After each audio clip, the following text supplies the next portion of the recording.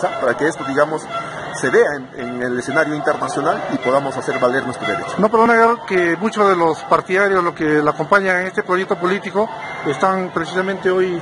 Eh, no son partidarios, señor. Militantes. Ni militantes. hermanos afectados del proceso. Acá está el hermano, justamente hermano me acompaña. ¿no? hermanos afectados.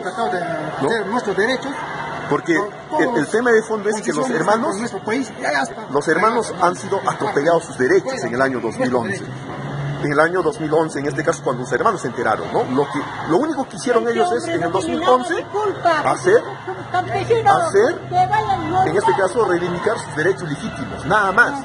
Los hermanos hoy día han venido, que han visto que, sus, que su eh, tarea de reivindicar que en el 2011 se ha logrado, la derogatoria de este decreto supremo hoy ha venido, ha venido a ver cómo es que, cuál va a ser el futuro de este decreto.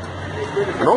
Entonces, yo creo que ustedes lo pueden preguntar, ahí están los hermanos, veo, por ejemplo, acá teniendo autoridades gubernamentales eh, que están con sus,